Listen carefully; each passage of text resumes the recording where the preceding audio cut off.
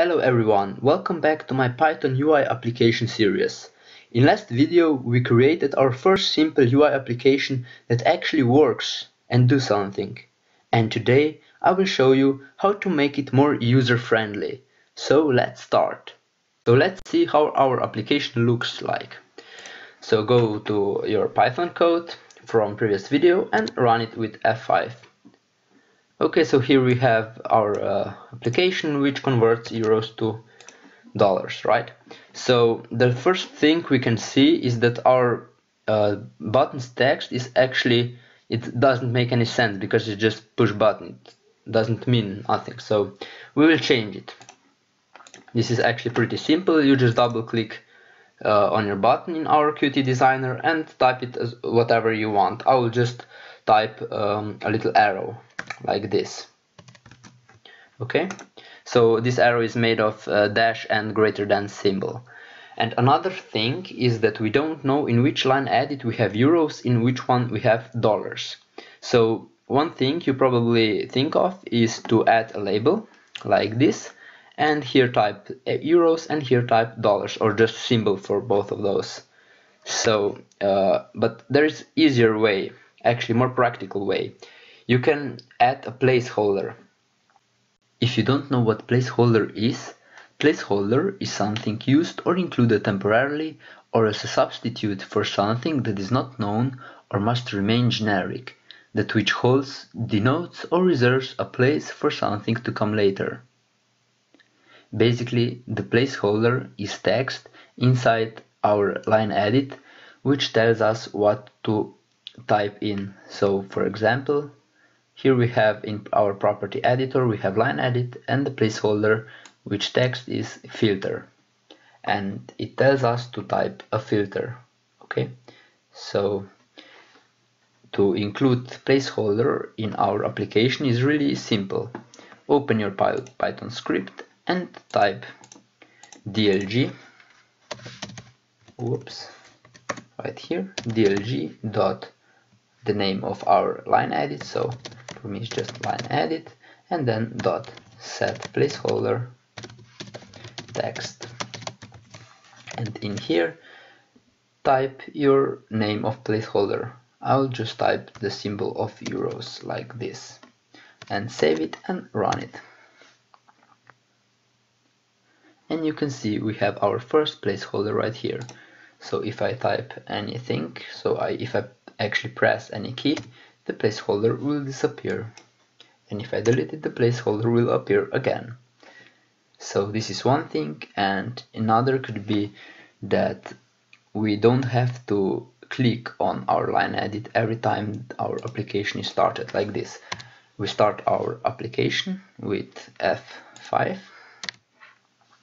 and our uh, our application is started and then we can just insert our number. We have to click on our line edit and then insert it. Because if you don't click on your on your line edit you can't see you can see the blue border around the line edit like this. This is because line edit is not focused. So we have to focus our line edit right when our application is started. So I will type right here dlg dot again line edit and then dot set focus. Oops like this. And now if I run it you will see that without clicking anything our line edit line edits border is colored in blue. And we can type any number right in without clicking on it. And then we also have the shortcut for clicking this convert button. You probably um, have seen in some popular programs that you can apply something with pressing enter. You can also do that instead of clicking this button. I will show you how to do that, how to do this. So go again, go to your Python code and then go here and then again type dlg dot line edit of course. Whoops line edit. Like this. And then uh, type dot return pressed. And then dot connect. And here type the name of your method you wanna call.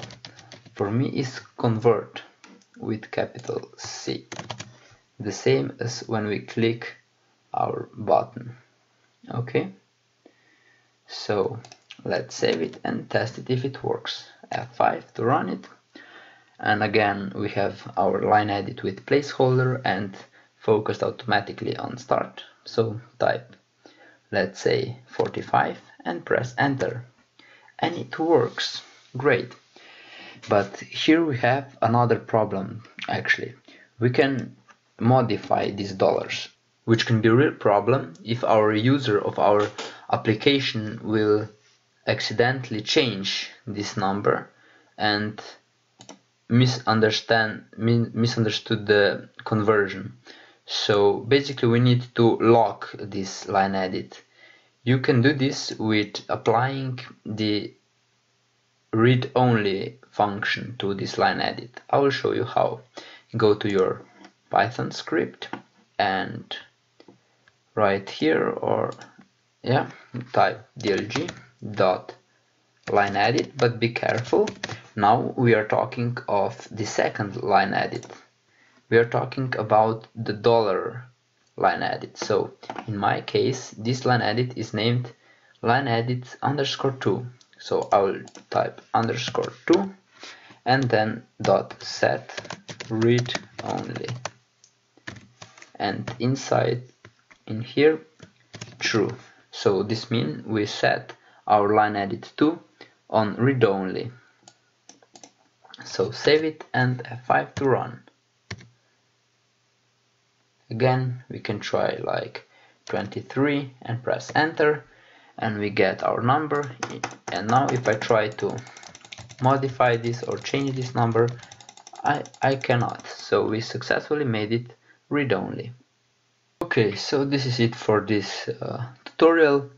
In this video I showed you just some quick hints and some uh, tricks to make your application smoother and more practical.